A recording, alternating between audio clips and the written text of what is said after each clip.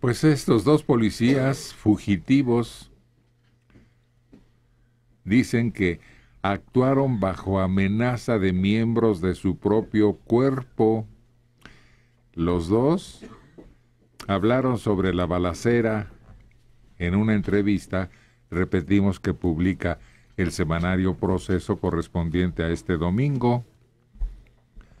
Los dos, se dijo primero, habían disparado contra sus compañeros encargados de arrestarlos para desmantelar una red de narcotráfico que actuaba en el aeropuerto. Pero no, ellos dicen que fueron objeto de amenazas y presiones de su jefe inmediato para que le entraran. Nosotros sabemos que vamos a pagar por eso, pero no podemos reconocer otros cargos porque nosotros nunca nos involucramos en el narcotráfico.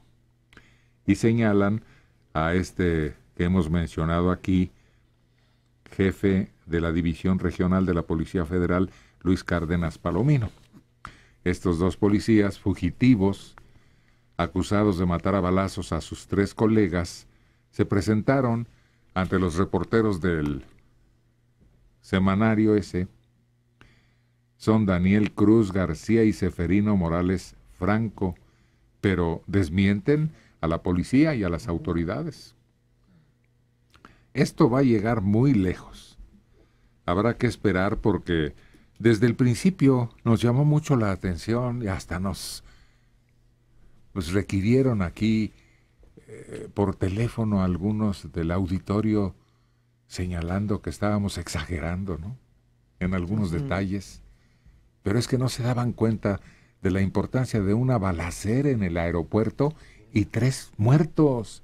Y no son tres cualquiera, sino policías uniformados. Sí, increíble, entre ellos mismos. Eso te habla de, de, la descomposición y te habla de que algo muy gordo está pasando en el aeropuerto, en donde se enfrentan entre los mismos compañeros en un horario en que empieza el movimiento fuerte del aeropuerto, de llegadas, de arribos, de todo. Y esto pues directamente apunta hacia las autoridades, no solo del aeropuerto, como el director o lo que pudiera derivarse, sino las autoridades policíacas federales encargadas de la guardia y custodia del aeropuerto.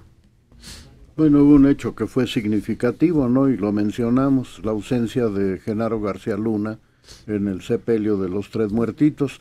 Pero hay una serie de cuestiones que están en el aire todavía porque fueron manejadas como información y ahora parece que no son tan, eh, que no hay tal certeza. Eh, por ejemplo, se dijo que los tres muertos habían sido atacados por la espalda, habían sido asesinados por la espalda, lo que explicaría pues que no hubiese habido tiros dispersos por todos lados. Pero si eh, la cosa ocurrió en un área restringida, ¿qué sería un círculo de no más de 10 metros, Carlos. Sí, claro, claro, por eso es por lo que no hubo más víctimas. No, no, pero ¿cómo le pegas por la espalda a un individuo que está en un círculo tan reducido? Le pegas por la espalda dándole la vuelta o agarrándolo descuidado. Eso fue lo primero que se dijo y se dijo otra cosa. Se dijo que uno de los dos eh, eh, eh, prófugos. Prófugos, sí, perdón. Eh, eh, llevaba el paquete de cocaína que habían recogido del baño. estoy hablando de las inconsistencias de la información. No, pero no fue así.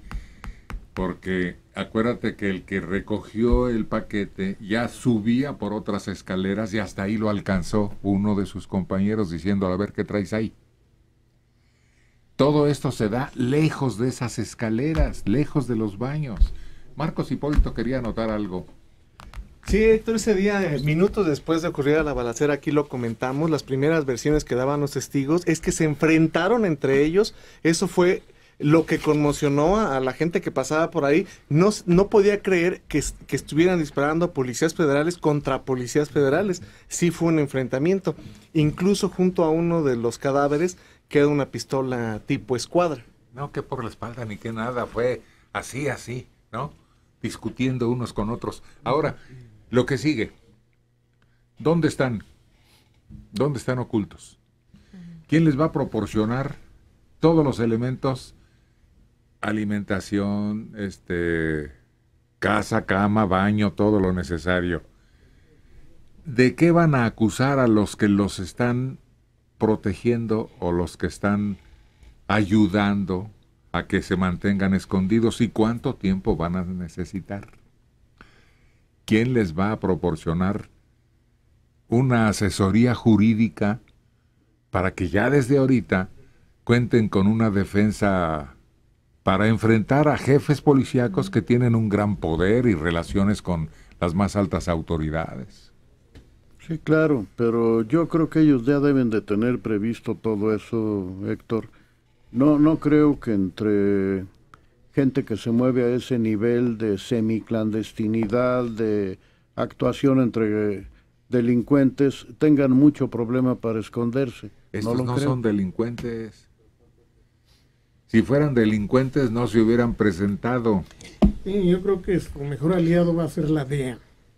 Y van a convertirse en testigos protegidos de la DEA. Ándale. Y ahí sí ya cuídate, Genaro García Luna, porque ahí sí ya hay una conexión directa con este. ¿Estos debieron irse a la embajada americana? Sí.